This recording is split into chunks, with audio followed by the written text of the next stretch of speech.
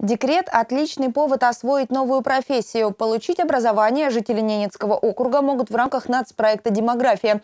В программах, которые реализуют Центр занятости населения, могут принять участие женщины, находящиеся в отпуске по уходу за ребенком до трех лет, и женщины, не состоящие в трудовых отношениях и имеющие детей дошкольного возраста. Мария Даник расскажет подробнее.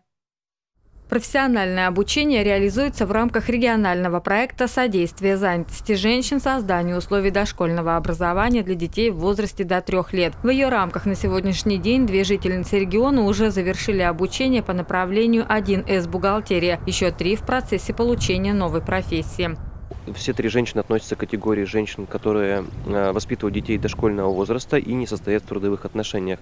А, одним из важнейших условий нашего обучения для этих женщин является то, что они после обучения будут в обязательном порядке трудоустроены.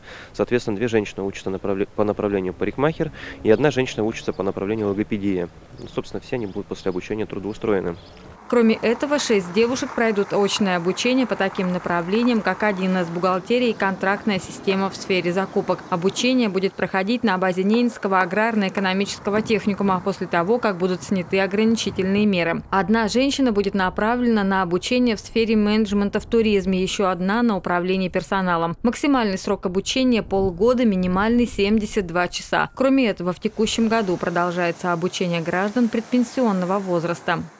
К данной категории добавлены с этого года граждане 50 лет и старше, то есть, в принципе, тем, которым назначена страховая пенсия по возрасту.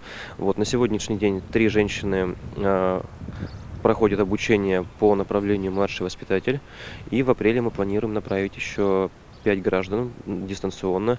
Это два человека менеджер э, в сфере образования, два, два человека управления персоналом и один человек по направлению технологии общественного питания. Также завершились конкурсные процедуры по обучению граждан предпенсионного возраста по направлению контрактная система в сфере закупок. Также оно запланировано очно. Как только будут сняты ограничительные меры, собственно говоря, эти женщины приступят к обучению.